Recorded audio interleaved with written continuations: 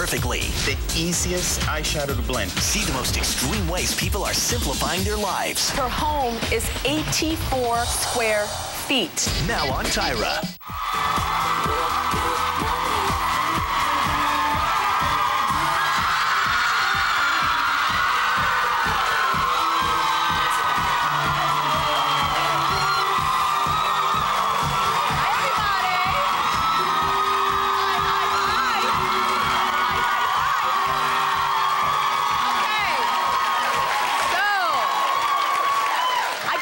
Ask you guys a question. Do you ever feel like a complete basket case? Like, you wake up in the morning, you get ready, then it's time to leave. You can't find your makeup, can't find keys, can't find the remote control. Where's your damn cell phone? right?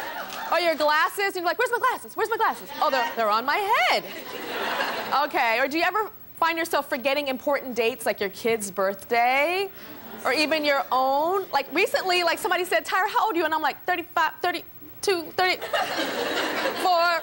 And then it looks like you're lying because it looks like you're like trying to remember your fake age. Anyway, today's show is for anybody who feels like a part of their life is spinning out of control. This hour, you're gonna learn all the absolute best ways to simplify your life. To simplify your life. But first, I want you to meet a woman who has gone to absolute crazy extremes to make her life easier. This is Dee, and she is the queen the absolute queen, I bow down to her for simplifying her life. She decided the best way to get rid of all her problems was to move into a place where there is no room for extravagances.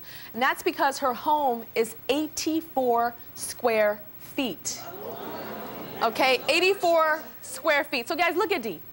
All right, you see this square that she's sitting in? Little pink square? That's 84 square feet. That's her house. That is her house. That is my bathroom. okay, so I'm gonna go, Dee, I'm gonna come into your house right now, and we're gonna have a conversation in, in, in, your, in your makeshift home. So, 84 square feet. You guys, let me just demonstrate this right now. I'm gonna lay down, okay, and I'm gonna show you. Stop freak daddy clapping. Look, this is the length. You see There's this? plenty of room. There's lots of room. Oh my gosh. Okay, so tell me, Dee, why? Why move into my bathroom?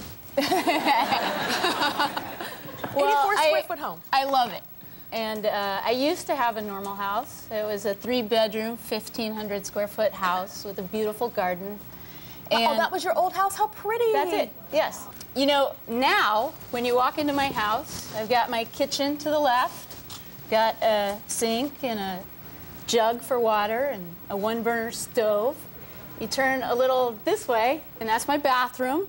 And uh, so I keep all my cosmetics. And then what's that? Is that a Oh, loft? What is that's that? the loft. You walk through, and um, you're standing in the great room. And uh, it's about a five by five foot space, and then the sleeping loft up above. Upstairs. Yeah. Oh my gosh. It's not claustrophobic. It Where's sounds nutty, but it's not claustrophobic. but I didn't see a shower or a bathtub. I don't have a shower. I shower at friends' houses or I shower at work a few times a week. It's all you need.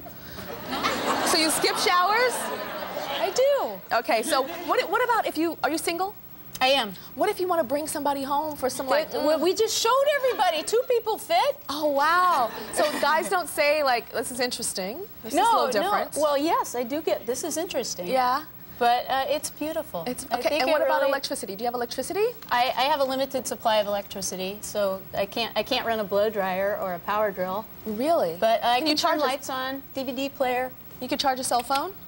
Yeah. Okay, Yeah. what about um, air conditioning and heating? Do you have that? No, no air conditioning. It's pretty mild in the Pacific Northwest. You don't, you don't need air conditioning. So why? Heat. What, what was the catalyst? What happened to make you scale Um, down this much? Well, I, I took a trip to Guatemala uh, to help build a school. Have you been to Guatemala? I'm from Guatemala. Oh, we have somebody in our audience good. from Guatemala. So- Hi. hello, hello. so uh, I was helping to build a school, and, and uh, you know, I came back from that trip, and I just realized that I had a lot of stuff that I didn't really need or Yeah. want.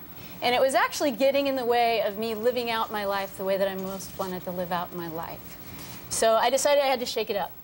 And uh, I wasn't sure where I was going to land because I, I had an opportunity to move. I had a, a very dear friend of mine who at the time was dying of cancer, and he Mm-hmm. lived in a different town. And so I wanted to be closer to him and his family. And so I decided I needed to do something that would make me portable and smaller. So why not build a house on wheels? Oh, That's it- a hot idea. It rolls? yes, it's built on wheels. Oh my god! oh my gosh! I didn't know it rolls. Yeah, I mean, I don't know where I'm going to be. So you at just like go. So we could have like brought your house into the studio, girl. Well, the, the doors may have been a problem. Okay, well your brother is here. Mark is here with us. Hi, Mark. Hi. Hi. What a Good-looking guy. So Mark, when your sister told you about her, what is it, 84 square foot home, what what went through your mind? Well, I, I think the first response was this is no surprise. D- D- uh, Dia's lived on the edge all of her life. Um, we thought it was a joke at first. But I know there's something that really confuses you about the whole thing. Uh, I mean, just there are obvious questions. When you look at the house, there's no running water, there's no modern toilet. Obviously, there's no shower. what does shower. that mean, no modern toilet? It's composting. Oh, okay. It's a bucket with a toilet Oh. seat.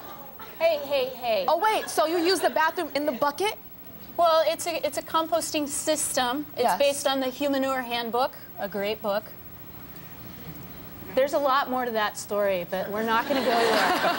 I'm So not going to talk. I'm s- I'm, not going to talk about my toilet with you, Mark. Okay, toilet's off limits, but, But can I talk is. about the toilet? okay, so is it like a, a like a, a, a bucket thing? Can you use it and then you have to change it and You like have rinse to it out and change stuff? It's a chore. Okay, what if I came to your house? I went to a Mexican restaurant. I would. I, you would honor me. You would honor me really using my toilet. You wouldn't be grossed out by my. I, I'm not saying that. I'm- uh, but but you would be welcome to Yes. use my toilet. And the thing is, is that you know, especially after being in Guatemala, the people that I was working with, having any kind of a toilet is a gift. Mm-hmm. And I, I firmly believe that. I see our Guatemala girl says yes, right? Yes. Yes. Okay. Do you ever miss living in a in this the house that you used to live in? I um I miss hosting a good gathering, a little party, and uh, now if you guys came over, you know, we'd have to take turns in and out of the house. um, I miss I miss my big garden. Yeah. I, I have a garden here, but you know, I'm I'm parked in somebody's backyard. These very dear friends of mine that let me live in their backyard. So I'm borrowing space from a kid who likes to play ball, and you know, uh, I miss those things. yeah. But life is less stressful. It's a lot less stressful. Really? I mean, my, my utility bills, I pay like six bucks a month for heat. Are you serious? Uh, I don't have to pay rent. I barter out by doing chores. I caretake an older woman who lives in the house in front of me.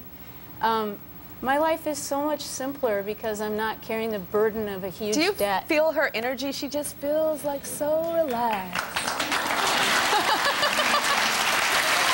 I, you definitely, definitely are the queen Oh, of, of, you. of uh, simplifying your life. I Thank take you. my hair weave off to you. and uh, we'll be right back.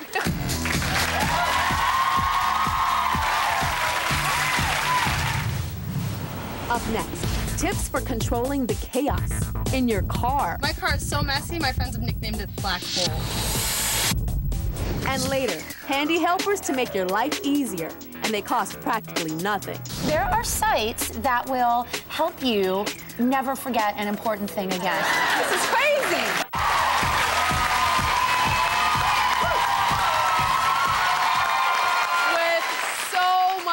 All of us to do in so little darn time, life can quickly become a hot mess, child. But don't worry, because today we're bringing you all the best ways to make life easier. Now, one area I know many people struggle to keep in order is their car. This is Andrea, and Andrea says that her best friend Brooke has no idea how to keep her car in order. Her car is a hot mess. Hi. you? Okay, so I'm, I hear that her car is so bad it's getting dangerous. Mm-hmm. Tell like me, a biohazard. It's a biohazard. so tell me what happened to you. You hurt yourself in her car. I know. One time I was actually just sitting in the back seat and there was so much stuff everywhere, and a coffee mug hit me in my elbow, and I got a bruise for like days. Yeah, because I hear that when she brakes, the stuff goes. Oh yeah, if she turns, she breaks anything. Oh my gosh. Gosh. All right. Well, um, I've never met anyone with a car more disorganized than my mother. Okay. My mama's car is a mess. She goes shopping and she doesn't like to try on stuff, so she'll like buy everything in every single color. and Then she gets home and if one color doesn't fit, then all the rest of the colors don't fit. It is like a store. She got